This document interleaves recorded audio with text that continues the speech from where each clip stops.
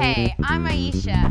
You can now watch UCF TV 24 hours a day on Bright House Digital Channel 1.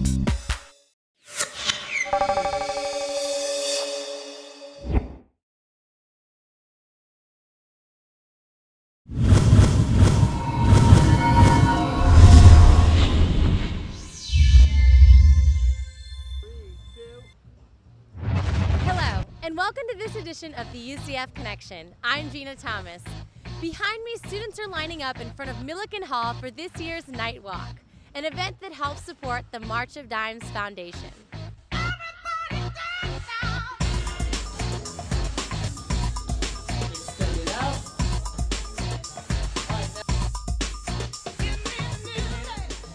This year's event started off with inspirational words from Dr. Hitt.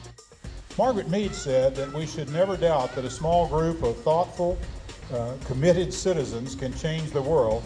Indeed, it's the only thing that ever has.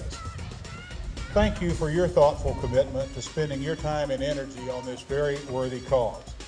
Motivated and ready, participants lined up to start the walk.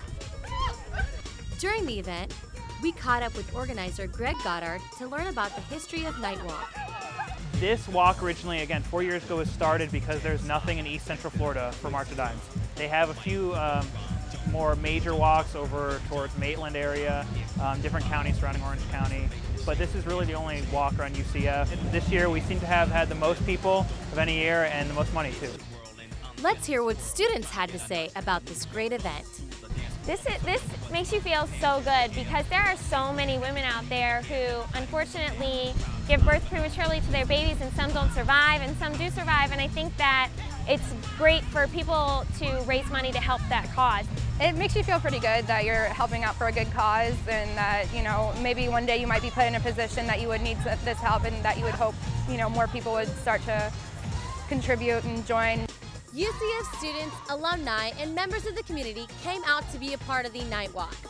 These participants have been a true inspiration to me as well as the rest of Central Florida. With UCF TV, I'm Gina Thomas. See you next time.